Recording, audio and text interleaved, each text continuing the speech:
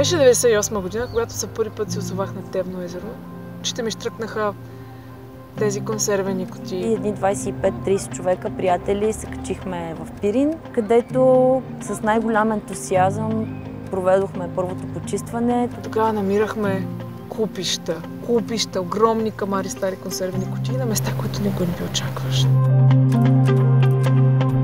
За първ път видях такава маса от буклуци на едно място събрани и то дори не е на едно място, което е най-тъжното. Докато не се докоснеш по някакъв начин до тези бунища, като бунището зад мен, нямаш реална представа какъв е проблема и колко е важно да се обърне някакво внимание.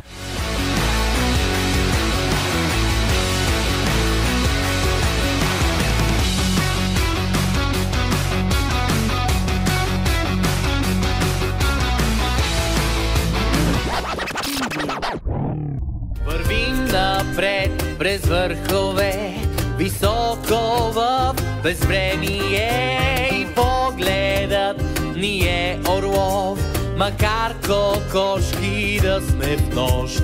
Море от свежи цветове, планинско вихрено небе, умът надниква над света и само в миг ще полетя, защото бе